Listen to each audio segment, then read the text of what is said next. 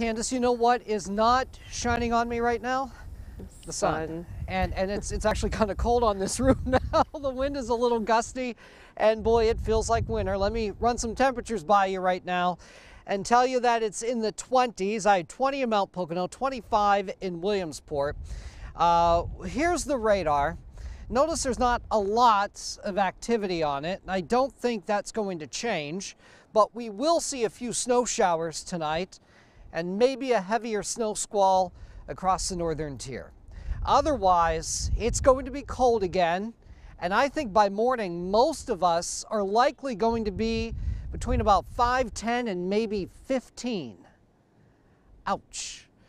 Download the Eyewitness Weather app. Get it on your cell phone any time of the day, an hourly forecast that is,